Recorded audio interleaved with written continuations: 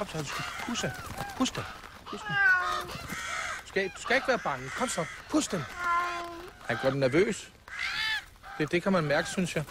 Den pisser på den kat, kraft helvede. Det kan alle i den by se. Ja, det fungerer ikke. Lambert er en rigtig fin kat, men den dur simpelthen ikke. Da jeg var lille, der havde min farfar sådan et stort kirsebærtræ. Der var også nogle solsort i. Men han gjorde det, han skød på et stykke om morgenen, og lige et par inden han gik i seng. Det hjalp. Skød dem. Med et våben.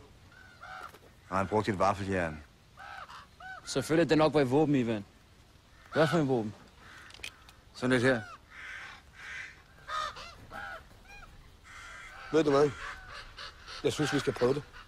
Tror du, du kan ramme der, hvor du står? Og det, det er jo langt væk. Nu, vi godt kan bruge pistoler på den kirke. Ja, ja. Kraft helvede, Ivan, det skulle du sagt til mig den tidligere.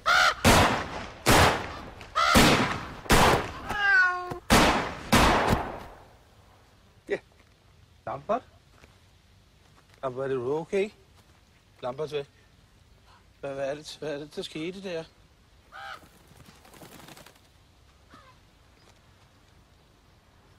Han er død. Det er en lortekat. Han skød min kat. Nej. Ej, nu må vi altså stoppe med at gå og anklage hinanden for alverdens ting, Gunnar. Det var en gammel kat, den var midt af dage, og så falder det tilfældigvis sammen med, at vi står og skyder en lille smule. Men hvis du gerne vil diskutere det, så synes jeg, vi skal gøre det nu.